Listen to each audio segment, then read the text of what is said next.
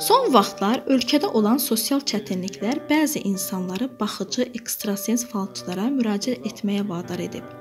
Təbii ki, bu peşə sahiblərinin xidmətləri isə həmişə müzakirə mövzusu olub.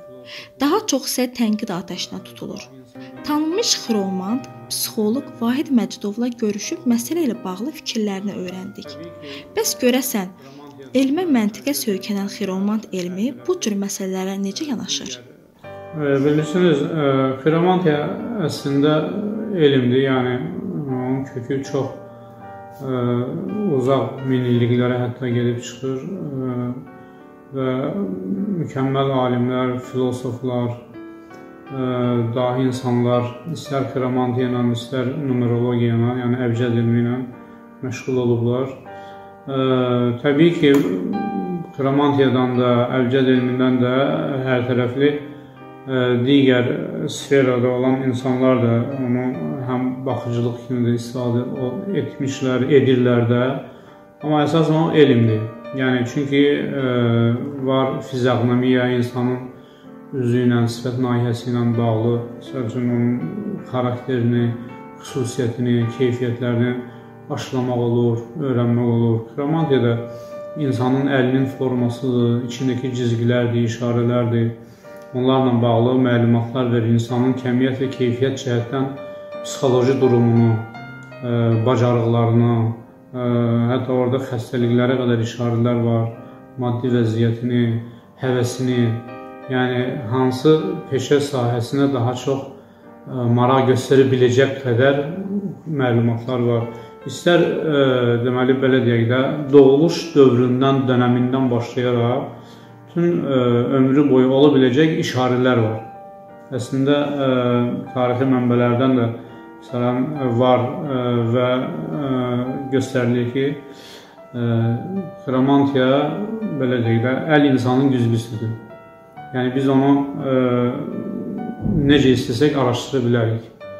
Ə, oradakı hər bir insanın öz əlinin forması var. Yəni mümkün deyil ki, o forma cəhətdən və yaxud da oradakı işarələr cəhətdən insanlar xarakter cəhətdən bir-birinə oxşasın. Ona görə ə, mən çoxdan bu işlə məşğulam ə, və həvəsim də var. Bir çox insanlara köməkliklər etmişəm, onlara yollar göstərmişəm, nə mənada yollar göstərmişəm.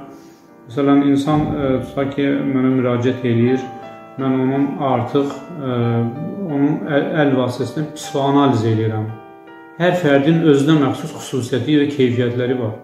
Yəni biz onu araşdırırıq.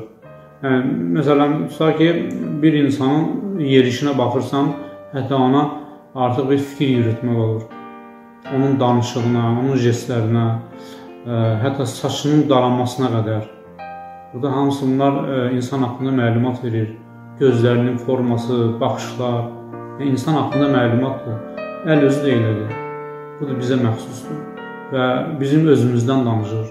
Bizim əlimizin içindəki cizgilər, xətlər, əlimizin forması, modeli hərənin özündən fərd halında özündən danışır, məlumat verir. Doğuluşdan əgərsə tutaq ki, hansısa bir özəg varsa, ə, onun ümumi bir ə, formasını göstərir.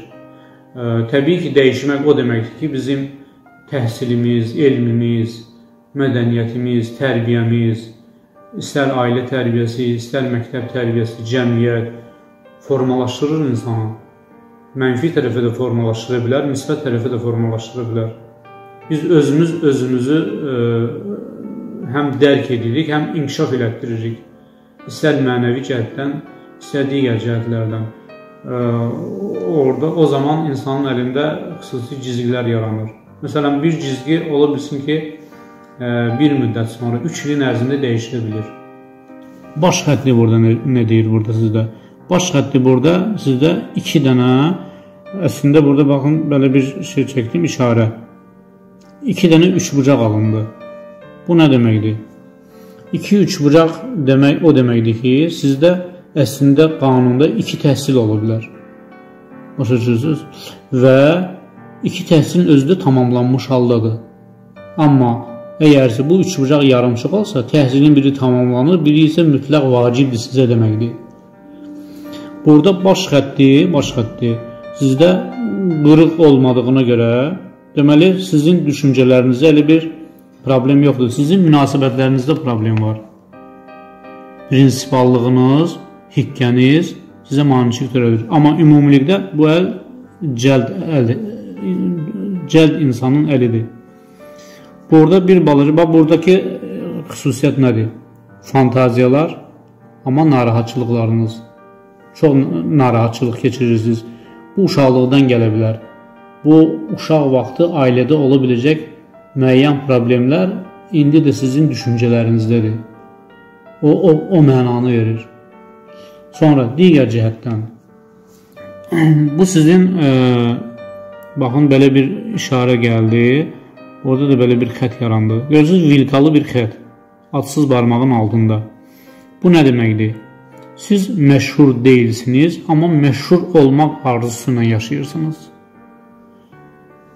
Buradakı xət sizin pul itkiniz olub deməkdir. Bu xüsusiyyətdir. Amma bu vilqa məşhurluq işarəsidir. Sağ əldə bu təkrarlansa, deməli siz məşhur ola bilərsiniz deməkdir yox sağ əldə təkrarlanmasa, deməli arzu kimi qalır. Baxın indi digər bir cəhətdən. Bu niqah xəttidir. Amma burada çox maraqlıdır ki, burada 2 dənə niqah xətti var. Sağ əldə nə verir? Sağ əldə sizdə xətlər biraz tünd rəngdədir. Bu sizin emosiyanızdır. Biraz ürək nəbzi yüksəkdir e, cavanlıqla da bağlı ola bilər, emosional olduğunuza görə də bağlı ola bilər. Ürək xətti burada xeyli uzanır. Deməli, çox danışan, çox sual verən adamlardan hesab olunursunuz. Normal cəhətdir. Ümumi bir dənə yekə, bir dənə üç bucaq düşür. Deməli, siz həm təhsildə, həm sənətdə irəli gedəcəksiniz deməkdir. Onun içində bir dənə də üç bucaq var. Yeni sənədləşmələr, yeni belə belə deyək də əlavə olaraq təhsil olmasa da müəyyən sertifikatlaşmalar, müəyyən bununla bağlı irəliləyişlər göstərir. Bu həm də işin genişlənməsi hesab olunur. Buradakı xətlər kaprizli adam olmağınıza baxmayaraq bunlar həm də səyahətlərdir. Səyahət xətləridir. Ola bilsin ki, indi e, məsələn karantin dövrüdür, sərhədlər bağlıdır, o qədər baş verməyə bilər. Amma ümumi halda bu sizin əlinizdə var. Bəlkə də gələcəkdə bu sizin üçün mükəmməl rol oynaya bilər. Məsələn, e, başqa dövlətlərdə iş qura bilərsiniz, hansı bir müqavilələriniz ola bilər. Onlar uğurlu olacaq. Ola bilsin ki, sizin sənətinizlə bağlı sizdə çoxlu səyahətlər, yollar olsun. O onların hamısı uğurludur. Niyə? Buradakı işarələrə görə. Buradakı işarələr artıq ondan xəbər verir. Burada iki dənə belə və uğul deyirlər buna. Və üst-üstə belə işarə düşür. Sanki e, belə belə deyək də e, quş göydə uçur. Baxın indi. Bu gələcək işarələrdir. Məsələn, gələcək necə? Tutaq ki, 33 ilə 43 yaş arası təxminən baş verə biləcək bir işarətdir. Bunlar bir mərhələ 9 ilin ərzində bir cürə sizin hörmətiniz, təzədən növbəti 9 ildə ikinci dərəcəli hörmətiniz olacaq. Deməli siz daha hörmətli, daha mükəmməl olacaqsınız. Bu gələcəkdən xəbər verir. Baxın indi. Bu ömür xəttidir. Burada biraz yarım dairədir. Deməli siz daha səbirli, daha təmkinli olacaqsınız. Zaman keçdikcə, yaş keçdikcə, təcrübə əldə etdikcə sizin də xassətiniz, münasibətləriniz daha əla olacaq. Daha yerinə düşər olacaq və sizi qane edə biləcək bir mərhələyə gətirib çıxardacaq. Bu həm evdə tənzimləmə gedir, həm işdə, həm sizin insanlarla olan münasibətlərinizdə. Ona görə ömür xətti yarım dairə üçün Bu sizin uğurunuzdan xəbər verir. Burada uzun bir dənə əlavə olaraq baxmayaraq ki, üç bucağın bir tinidir. Bu həm də həyət evindən bir işarədir. yaxşı, mükəmməl bir həyat evinin gələcəkdə olduğundan xəbər verir. Bu ondan bu onun işarəsidir. Baxın indi burada. Düzdür burada ə, e, burada da belə kölgə halında vilka var. Yenə də digər tərəfdən bir dənə təzədən xətt kəsir onu. E, deməli bu borcla olan, pulla olan problemdir əslində. Burada kəsici xəttlər var. Bu kəsici xəttlər isə sizin həmin bu pulla bağlı gərginlik yaşadığınızdan xəbər verir.